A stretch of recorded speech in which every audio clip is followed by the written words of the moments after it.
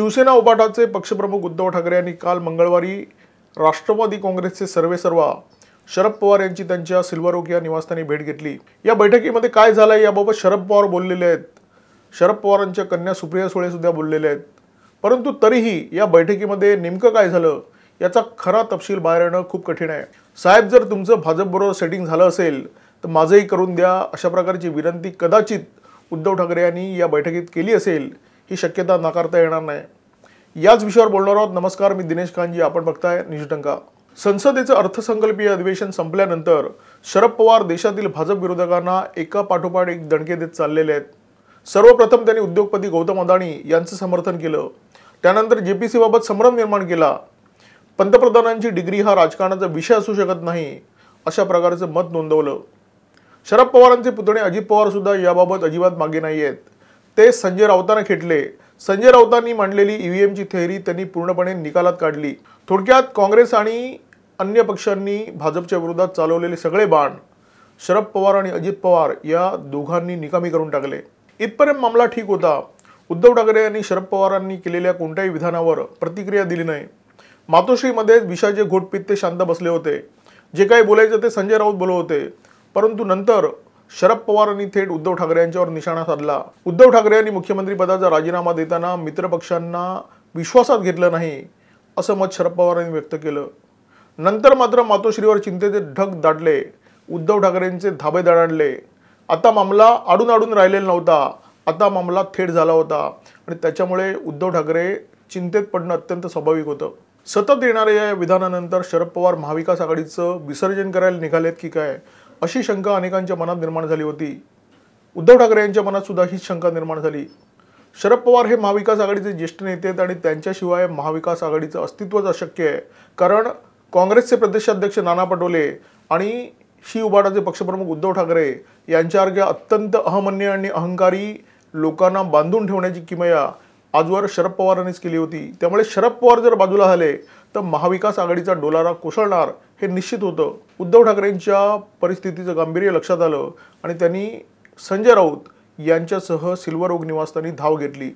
या बैठकीमध्ये शरद पवारांच्या कन्या आणि बारामतीच्या खासदार सुप्रिया सुळे या देखील उपस्थित होत्या. सुप्रिया सुळे यांच्या विधानावर विश्वास ठेवायचा तर या बैठकीमध्ये सुळे आणि ठाकरे यांची ताडोबामध्ये वाढलेल्या वाघांच्या संख्येवर चर्चा झाली. या दोघांनी शिवसेना प्रमुखांच्या आठवणींचा जागर सुद्धा केला. परंतु या विधानावर शेंबडपोर सुद्धा विश्वास ठेवणार नाही. कारण जे उद्धव ठाकरे मुख्यमंत्री पदाच्या कारकिर्दीमध्ये क्वचितच मंत्रालयामध्ये फिरकले. ज्याला भेटण्यासाठी शरद पवार बाळासाहेब थोरात अशोक चव्हाण नाना पटोले हे नेते वारंवार मातोश्रीमध्ये जात वर्षा निवासस्थानी जात.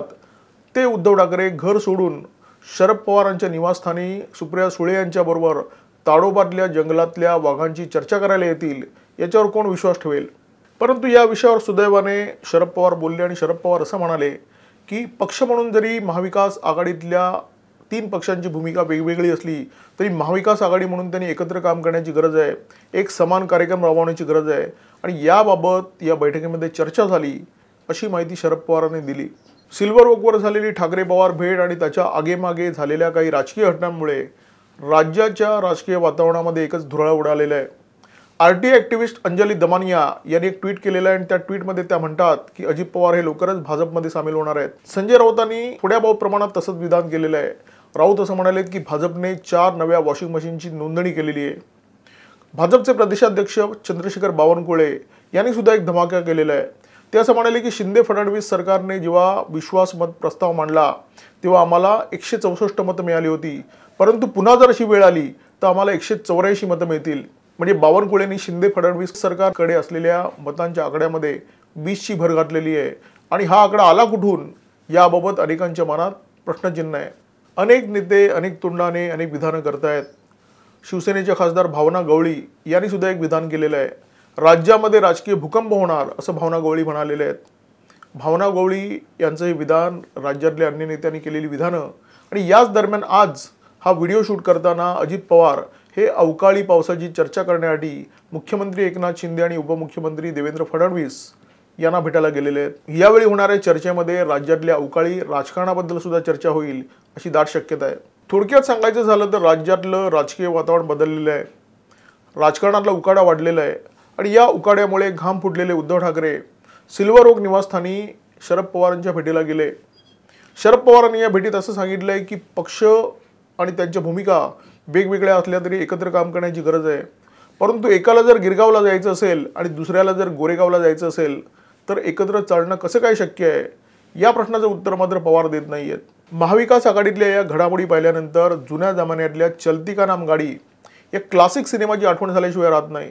या सिनेमामध्ये अशोक कुमार किशोर कुमार आणि अनुप कुमार ही तीन सख्खी भावंड आहेत. पडद्यावर सुद्धा ते सख्य भाऊ आहेत आणि त्यांच्यासोबत आहे सौंदर्य सम्राज्ञी मधुबाला. आणि या सिनेमामध्ये एक झकास गाणं आहे मन्नू तेरा हुआ अब मेरा क्या होगा या गाण्याची पार्श्वभूमी खूप मजेदार आहे. अशोक कुमार या सिनेमामध्ये मोठ्या भावाच्या भूमिकेत आहे आणि त्यांनी आपल्या दोन्ही लहान भावांना दम देऊन ठेवलेला असतो की कोणत्याही मुलीकडे पाहायचं नाही तिच्याशी बोलायचं नाही. किशोर कुमार या नियमाच्या विरोधात सगळ्यात पहिल्यांदा बंडखोरी करतो. तो मधुबालाच्या प्रेमात पडतो. आणि ही गोष्ट जेव्हा अनुप कुमारला कळते तेव्हा तो हे गाणं म्हणतो मन्नू तेरा हुआ अब मेरा क्या होगा?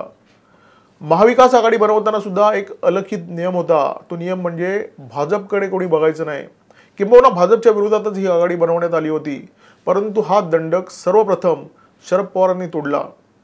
शरद पवार भाजपकडे बघतायत इशारे सुद्धा करतायत आणि त्याच्यामुळे कदाचित आगतिक होऊन उद्धव ठाकरे यांनी सिल्वर ओकच्या बैठकीमध्ये हा प्रश्न त्यांना विचारला असावा. मन्नू तेरा हुआ अब मेरा क्या होगा?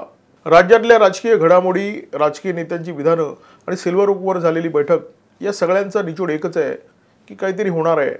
कुछ तो गडबड आहे परंतु ही गडबड कधी होणार त्याचा मुहूर्त काय ही बाब मात्र अद्याप उघड झालेली नाही आहे पण जेव्हा होईल तेव्हा होईल आम्ही इथेच थांबतोय. व्हिडिओ आवडला असेल तर लाईक करा शेअर करा आणि अशाच प्रकारचे माहितीपूर्ण व्हिडिओ पाहण्यासाठी सबस्क्राईब करा आमचा यूट्यूब चॅनल नमस्कार आणि धन्यवाद.